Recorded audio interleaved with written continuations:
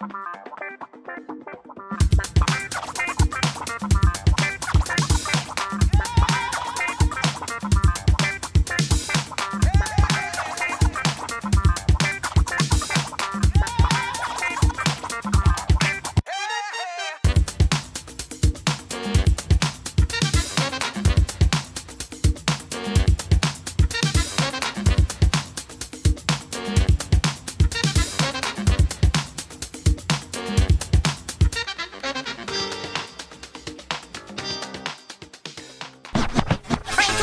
mention. I take your brain to another dimension.